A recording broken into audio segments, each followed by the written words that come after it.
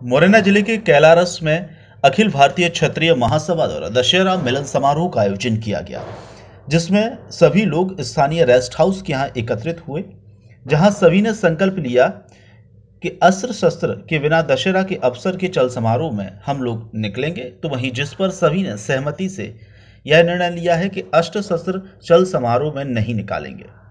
श्री राम भगवान के रथ पर झांकी सजाई गई। साथ ही शिव, पार्वती और राम दरबार की झांकियाँ सजाकर बैंड बाजों के साथ क्षत्रिय बंधुओं द्वारा पैदल चल समारोह निकाला गया, जिसमें सभी क्षत्रिय बंधु बिना किसी अस्त्र और शस्त्र के चल समारोह में शामिल हुए। यह चल समारोह एम एस रोड स्थित रेस्ट हाउस से डोंगरपुर की पुलिया के यहाँ होते हुए मयूर वन कैलारस लक्ष्मी नारायण मंदिर के यहाँ पहुँचा, जहाँ समाज के लोगों ने सामूहिक रूप से बैठक का आयोजन भी किया। छात्र धर्म का सबसे बड़ा पालन होता है अनुशासन